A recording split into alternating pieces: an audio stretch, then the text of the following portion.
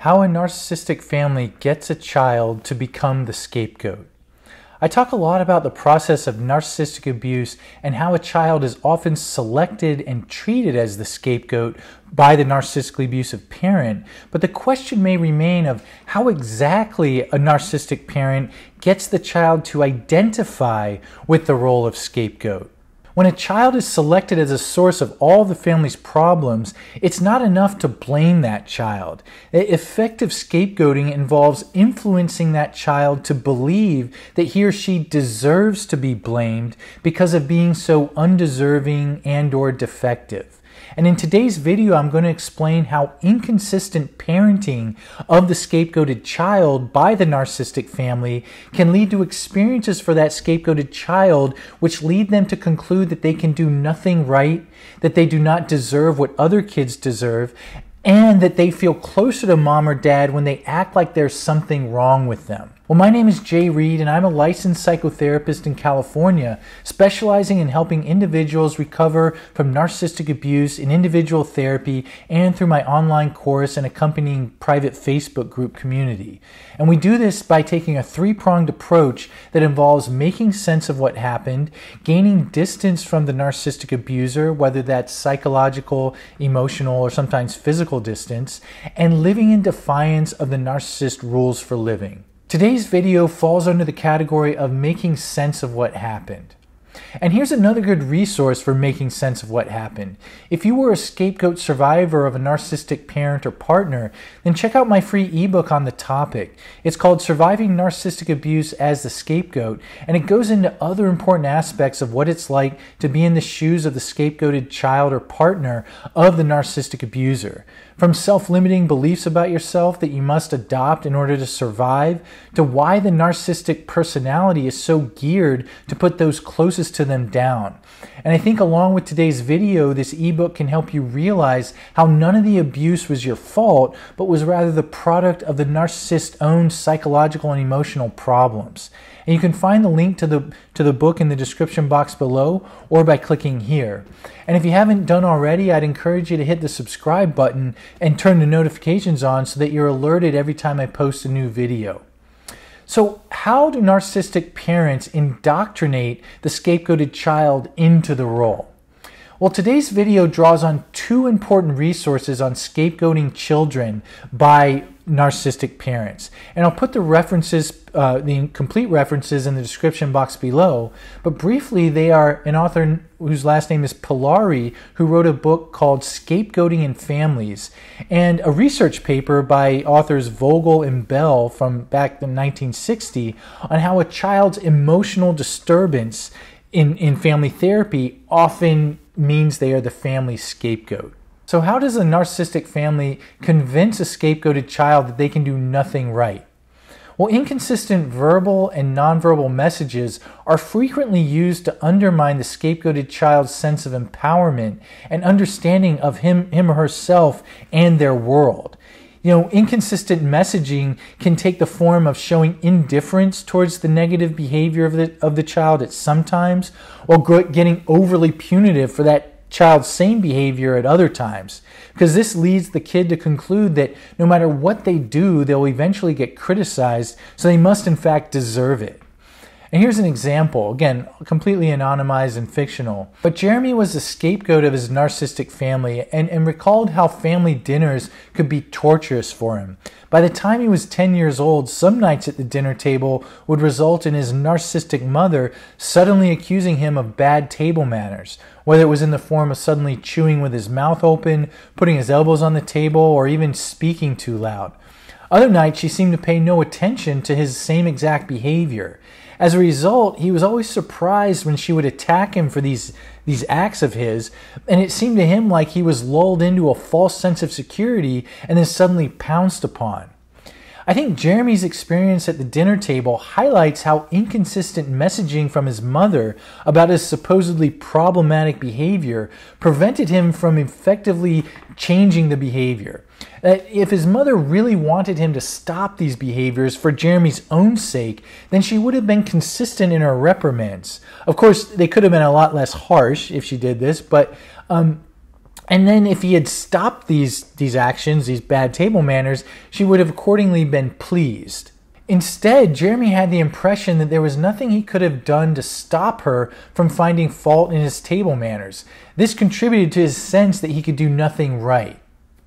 Well, how does the narcissistic family convince the scapegoat child that they don't deserve what other kids deserve? Here's where double standards come into play. When a narcissistic parent treats the scapegoated child like he or she already gets too much, while giving that child, in fact, very little, and then goes and grants privileges and gifts generously to another child, then the scapegoated child is led to conclude that they don't deserve what that other child is getting. And at first, the scapegoat child might complain and protest at this unfairness, but such expressions by the scapegoated child are typically used against that child by that narcissistic parent as evidence that that child is selfish, inconsiderate of what others need, and or takes all that they are getting supposedly for granted. Some scapegoated children will stop complaining when met with such humiliating responses and invalidating responses and quietly conclude that they don't deserve what that other child, you know, whether it's a sibling, a cousin, or even a child outside the home, what, what those uh, kids deserve. So, another example, uh, again, a fictional client named, we'll call Shayna, recalled in her therapy how her brother was always treated like the prince in her family, and she always seemed to be a burden and a problem to her parents. She recalled how she started working after school at age 14 and managed to save up enough money to buy a very cheap and poorly maintained car when she turned 16, while her three year younger brother, when he turned 16 while she was away at college, um, was actually gifted a late model sports car despite him never having worked a job or contributing any money of his own towards the car. Shayna recalled that when she learned of this gift towards her brother, that she wasn't surprised or even uh, didn't muster any sort of protest uh, uh, to protest the unfairness of this galling act of favoritism by her parents, because she was at that point so conditioned to expect her parents to respond, you know, to such protests by telling her she's selfish, uh, expects too much, is is ungrateful for all that she gets, and so forth. So, this tactic involves treating the scapegoated child like they deserve less than other kids and meeting the child's eventual protest with invalidation and attacks on their character. And as a result, the scapegoated kid learns to tolerate being treated like they are less deserving than the other kids and eventually then just believe it themselves to internalize it. And that's shown in Shayna's kind of acceptance of what happened when her brother was gifted the sports car. So, how does the scapegoat child feel closer to the narcissistic parent when that child acts like there's something wrong with him or her? Well, when a parent takes special interest in the scapegoat child's emotional or physical ailments, then the child can associate a sense of closeness with the state of being in disrepair or sort of in need of fixing.